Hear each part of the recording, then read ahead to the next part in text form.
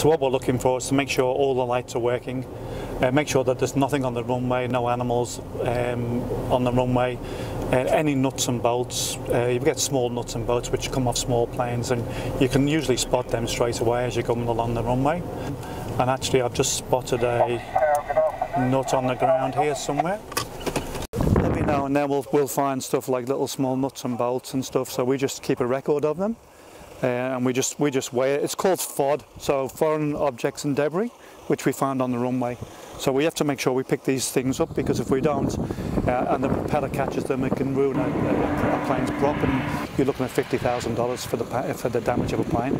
So basically, we'll do an inspection each morning, and after we've finished the inspection, we'll log everything to say what we've done. If we've replaced globes, we'll say we've replaced the globe, and um, if there's any animals about, we record all the animals. So over a year, we'll get a sort of uh, a, a, plan about what, what's around and what we need to do to try and uh, make the airport safe for the airport user.